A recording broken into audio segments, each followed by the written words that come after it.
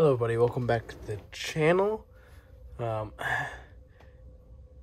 please uh, give this a like, please subscribe, please follow um, my Instagram and the Facebook page. Let's go ahead and get started. This is going to be a quick review, overview of the Microtech Stitch. Um, this one actually was sent in for customization, so it's not your normal. This is actually going to be M390, Stonewash, and black.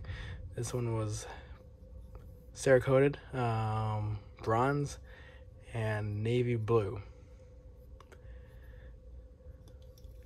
Now, this is an automatic, so before we get into this, know that you need to check your laws, state laws, make sure this is legal and not illegal, because it would really suck if you got this and couldn't carry it, or you got this and you couldn't, you're not actually supposed to be able to buy it, and then you just broke the law. Like, that's a really, I think, really crappy situation.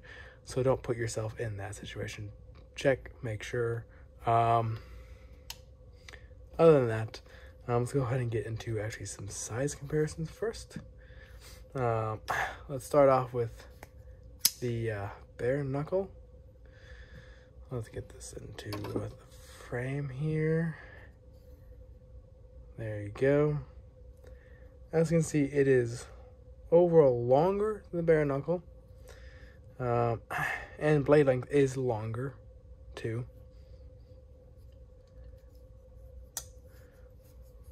Let's do against another Microtech, a UTech, UTX 85.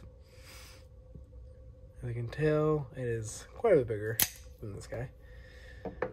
Let's do it up next to the Shaman, Spyderco Shaman, if I could actually open it correctly. As you can tell, you're gonna notice something like Spyderco is also known for this is having a huge amount of handle versus the blade. You notice that the stitch is the same way. Um, there is a reason behind that. Um, it's something that uh, other brands do, like like Spyderco. Um, there's your 940. We are at a side angle. That's why I'm actually putting all the size comparisons at the bottom so you get a better view of it and why the stitch is at an angle. Here's your red one. There you go. And last but not least, well, actually, we're to do one more after this. This is your Strider DC. One of the best knives that I honestly would say of 2020. Now, we're going to do it up against the Daiwa S90. Now this is a custom, so this is a in a completely different league to a um to a normal stitch unless you got something in a custom stitch. If you got a custom stitch, that's different. But if we're just talking about your normal uh, Microtech stitch, these are two different leagues. Uh, as you can tell, they are both similar in height. They're both wide, pretty thick, but both stout. Both come to a reasonable thin tip. If it would focus, maybe one day. There we go. Very, very thin tip on both, but also very stout at the same time both pretty thick on the handle. Obviously, the clips are a little bit different.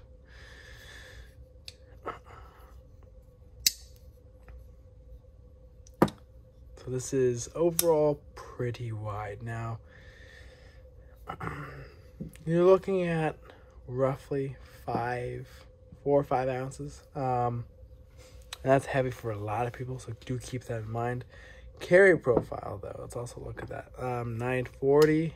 If you're used to the 940, and having other things in your pocket, you know that you really this is gonna be what's in your pocket. That's it. Nothing else. Um, you're not gonna want anything else because this is gonna take up all the other excess room in your pocket. Um, and then if you compare it to something also like UTX 85, there's a big difference in the carry profile. Um, the closer one to it would be your uh, Shaman. Now, if you're used to Shaman, this won't be much of a difference. The only difference really is going to be the swedge right here. So you're going to get a little bit of a uh, protrusion um, there. Not a big deal uh, if that's what you're used to. Um, action. It's loud. It's snappy. It's fast. It's quick. This is not a. This is not something you hand out to someone, especially people that you don't know that don't have never had it or handled an automatic, because unless you have the opportunity to be like, hey, hold tight, and then they can go. In fact, as long as you do that and you know they're not going to be actually completely terrified, because these, let's say, let's let's be realistic. People generally think as these and OTFs are the ones in the movies that always the bad guys have, that are scary, and that are just weapons. And in reality, this is for utilitarian utilitarian factor. Make it quick, one-handed, without having to worry about hitting a flipper or thumb stud and missing. Um, the bad thing about obviously automatic is it is two-handed closing unless you are good and have used plenty of automatics. You can get it but it's it's very hard to do it. In fact, even that scares me. It's a little bit harder to do on camera. I will admit. So I am not going to do that again. Uh, but the reality is, unless you've done it multiple times, over and over and over, um, and just handle a lot of automatics, that's not something you're going to be able to do right off the bat. Um, in fact, like if you're on a ladder, I would recommend not doing it. Um, the good thing about this though is if you are on a ladder, rip this out real quick, do this, make your cut, put whatever you need to up, and then you can close it. That is, helps a lot. But if, if you're in a situation where you need both hands to close it, but you don't have both hands, I think that's the the main issue with automatics. Um, with the stitch here, the clip is nice. Um, it holds a quite a bit of fabric. Um, the only thing is it does go up and then this, so has the potential to catch on things. Um, whereas, let's say the stride, let's say a strider clip, all it goes straight up. It doesn't then curve, um, so it won't catch in your pants. You won't have to fight it at all. Um, going in now, unless you're having a relatively thick pair of pants. You won't have to fight it, but just something to keep in mind. Uh, this hole here is just aesthetics. It doesn't actually do anything. Um, it's basically the part of the design uh, of the original Stitch um, by Borka Blades. Um, those are customs, but those range between, I think they start at around 18 um 1800 so and all I've ever seen is ones for two grand. So this guy is actually in the range of about four twenty, uh, four twenty five, um, sometimes more depending on the style or what you you get with the blade, whether it's mirror polish, whether there's any extra detail to it. The reality is, though, this has a, a lot of fine details to it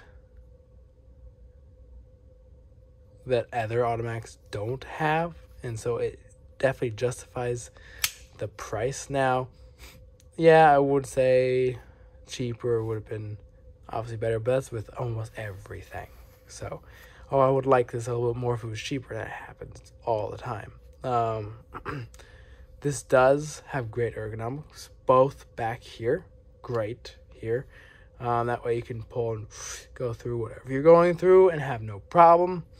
Um, it is decently thin behind the edge. It is not like laser thin, but it'll definitely cut anything you need to. Uh, unless you're um, decide that you really want to uh, skin hairs and you want to whittle them, then maybe maybe not. Um, you might be able to actually do that if you get this sharp enough. Um, but it's not going to be the best one of anybody's collection to do that. Uh, but ergonomics, great to push cut and to also choke up. Now you are looking at a four inch blade with roughly three and a half inches of cutting edge. Um,